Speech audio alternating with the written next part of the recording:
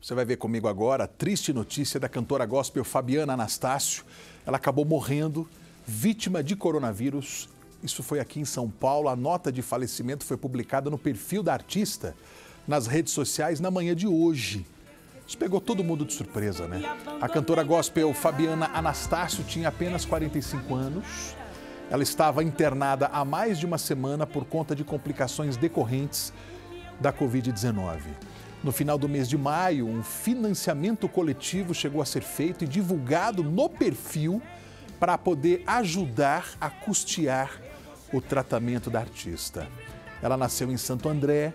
A Fabiana cantava desde os quatro anos de idade, tinha uma voz. Ó, escuta essa voz, ó. Eu sou teu Deus e me lembro do que disse ao teu coração.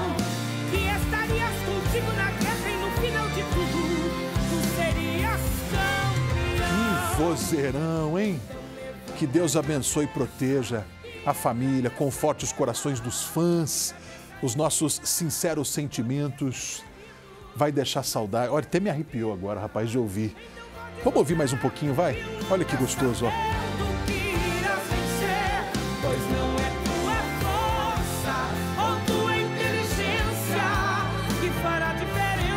Vai deixar saudade, mas tem grandes sucessos na voz dessa mulher, hein? Que, que voz, hein?